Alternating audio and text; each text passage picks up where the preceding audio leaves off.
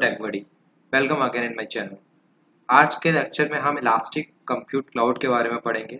ये हमारा लेक्चर का ए सीरीज़ का सेकंड पार्ट है।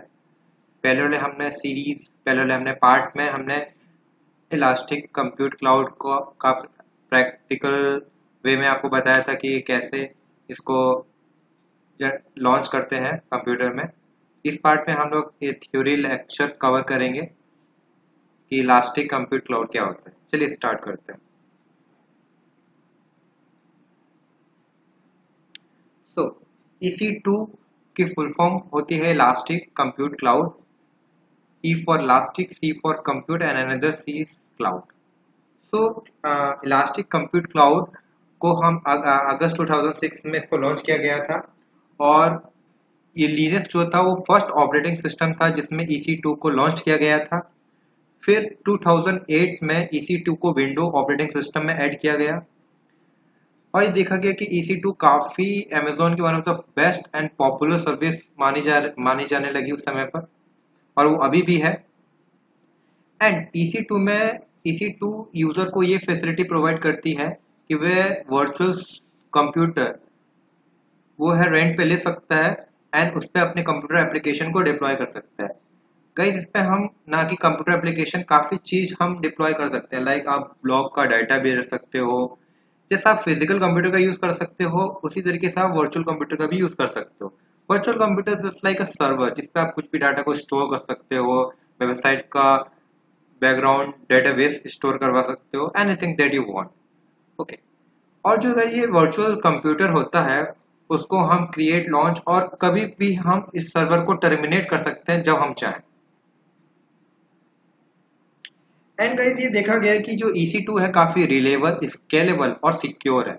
और गाइज़ इसमें सबसे इम्पोर्टेंट बात ये है कि इसका जो इंफ्रास्ट्रक्चर है वो ऑन डिमांड है। जिस तरीके से अगर हम, हमको अगर इंक्रीज करना है और ये डिक्रीज करना है कैपेसिटी को तो हम इसको काफ़ी कम मिनट्स में कर सकते हैं। ये नहीं कि हमको काफ़ी सारा घंटे देने पड़ेंगे और देर देने पड़ेंगे। ये फ्यू मिनट्स में इसकी कैपेसिटी को हम इंक्रीज और डिक्रीज कर सकते हैं। एंड गाइस 99 परसेंट ये अमेजोन ने ये पूरा एरिया कवर कर लिया है रीजन जिसमें हमने देखा गया है कि एटलीस्ट तीन अवेलेबिलिटी जोन हर रीजन में है। अमेजोन का अभी काफ़ी ज़्यादा नेटवर्क हो गया है। तो ये देखा गया है कि हर जोन में इनका थ्री एटलीस्ट है ही है। एंड कई सबसे इम्पोर्टेंट एंड सबसे अच्छी बात ये है कि जो ए वो सपोर्ट करता है एटी सिक्योरिटी स्टैंडर्ड ये काफ़ी अच्छी बात है। इससे ए की सिक्योरिटी काफ़ी इन्हांस हो जाती है। और गैस मैंने अपनी स्लाइड में एक चीज़ और डाला हुआ है जो कि नेटफ्लिक्स नेटफ्लिक्स गैस हम जानते हैं काफ़ी पॉपुलर चीज़ है एंड एंड काफ़ी ट्रेंडिंग चीज़ है। इस पे लोग ऑनलाइन स्ट्रीमिंग से वीडियोस एंड सीरीज़ वगैरह देखते हैं। तो गैस इसमें एडब्ल्यूएस काफ़ी use amount of role play करता है। गैस जो नेटफ्लिक्स का डाटा होता है, जो भी हम ऑनलाइन स्ट्रीमिंग करते हैं लाइक उनका कोई भी डाटा है, वो एडब्ल्यूएस हैंडल करता है।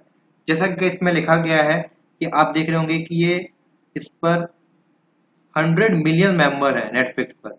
एंड ये 190 कंट्रीज़ में अवेलेबल है। और गाइज़ ये देखा जा रहा है कि इसमें काफ़ी बिग डाटा है जो कि AWS हैंडल कर रहा है कि जो कि काफ़ी सारी सर्विसेज़ प्रोवाइड करता है नेटफ्लिक्स को। Like computing storage and database analytics recommendation engine video transporting और काफ़ी सारी चीज़ प्रोवाइड करता है। और इस चीज़ को पूरा करने के लिए ए जो है वन लैख सर्वर्स जो है ए प्रोवाइड करता है नेटफ्लिक्स so गाइज़ आज का लेक्चर हमारा इतना ही था। अगर आपको ये चैनल आपको ये वीडियो अच्छी लगी और आपको ये वीडियो लगा इसमें आपको नॉलेजेबल लगी हो तो आप प्लीज़ मेरी वीडियो को लाइक कर सकते हैं कमेंट कर सकते हैं एंड प्लीज़ सब्सक्राइब कर दीजिए। So thank you for giving your this time